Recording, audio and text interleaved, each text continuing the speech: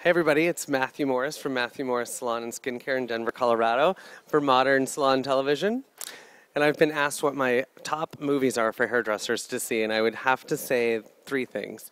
One would be 1 Million BC with Raquel Welch, anything from Catherine Deneuve, and uh, CQ with Angela Lindvall, and all because they have that beautiful, bodacious, long, beautiful, healthy, shiny hair.